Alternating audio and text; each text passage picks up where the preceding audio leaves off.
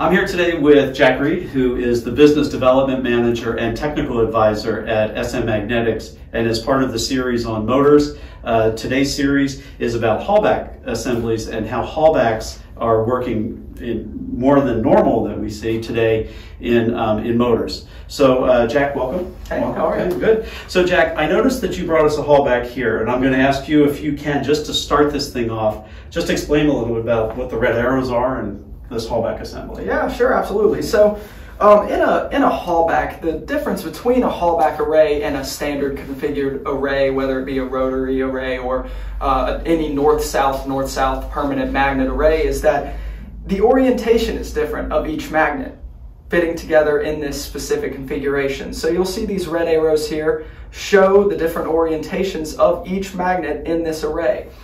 And as you can see here, once I put the magnetic film over it, it's still just two poles. So although there are 12 magnets, all with differing orientations, there are still only two poles of this Halbach array, which is something that we do not see necessarily with your typical permanent magnet array. So Jack, what's the benefit of using a Halbach versus, say, a typical north-south, north-south configuration? So the benefits of a Halbach array over just your typical north-south, north-south configuration, the biggest one is going to be efficiency.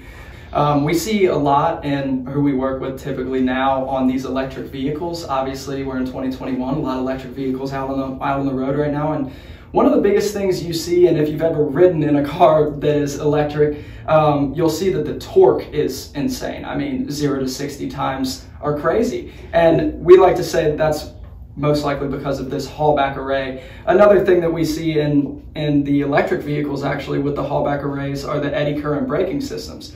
Um, and that would be like a regenerative braking system that then adds to the uh, energy of the car. So kind of a double use there, um, but mainly for efficiency. So Jack, I, I get the concept that these are very efficient. Halbachs are very efficient motors. So why doesn't every motor manufacturer just switch over and use a Halbach or a Halbach assembly? So really, Halbachs aren't going to be your end all be all. You still have to go to your end goal and figure out what's best for you. And another thing, of course, is the cost. I mean, cost efficiency is going to be a big thing for a lot of these designs and applications, and it's higher cost than your typical rotor, uh, you know, such as this. And so it really just has to do with a, a cost benefit analysis. Uh, so once we get down to what you need as your end goal, then we know whether or not this will work best for you or if possibly just a rotor would work best. Okay, so there's really a cost benefit that goes in with Halbachs is what exactly. it comes down to. Exactly. So do you simulate Halbachs to see what that cost benefit could be? Of course. Um, and, and we would simulate the Halbach as well as if there was a, a rotor, you know, a, a north-south, north-south configuration, we could do, you know, benefit analysis and cost analysis um, from that perspective. And obviously we would simulate all of those to get the most precise results So, so I also noticed you have a linear Halbach here yes. um, versus a circular one. Uh, why have a linear one? So in terms of the linear Halbach, uh, this would be more for a linear motor, one that's going to be moving directly across on an even plane rather than going around. Um, obviously within this Halbach, all of the uh, magnetic field is going to be within the ID of this. And the magnetic field here is going to be above it. You see how these you know, arrows are pointing in different directions. Those are the orientations, much like of this circular Halbach. But instead, this field is coming up here. So we're really trying to focus this field and narrow it to be very uniform and very strong on one side of this linear. Is that why you see so much less magnetic field on the other side? That is exactly correct. Uh, okay. We're really trying to push this magnetic field and this specific configuration is pushing the magnetic field in one specific direction in a very uniform manner. So Jack, in one of our other videos, which was the rotary uh, motor video, we talked about wires and gauge size and everything. Does the same issue exist, gauge size versus uh, Halbachs that it did in the rotary? How would you define the wire need?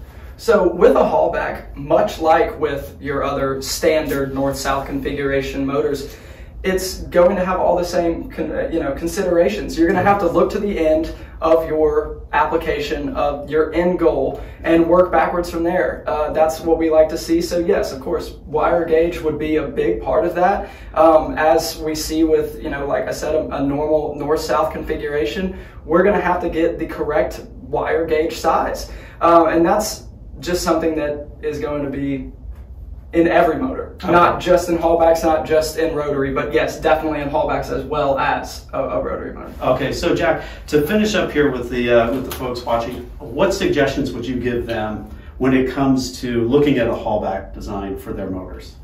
So, firstly, I'd like to look at the configuration, the orientation of the configuration. Uh, as I said before, go to the end. Make sure that you know what efficiencies you need, uh, what cost you need for something like this. As I said, it's a bit higher cost than your typical permanent motor magnet. Um, so it's one of those things that's really a, a cost benefit analysis. And is it going to be more beneficial to you to have a higher efficiency motor and higher cost? It's going to be much higher efficiency, but it's also going to be higher cost than your typical rotary that's you know, just going to be in your standard motor. Okay, Jack, thank you very much. Um, and if you'd like to get in touch with Jack, his email address will be put on the bottom of the screen. So thanks, Jack. Yep, thank you, Michael. Uh,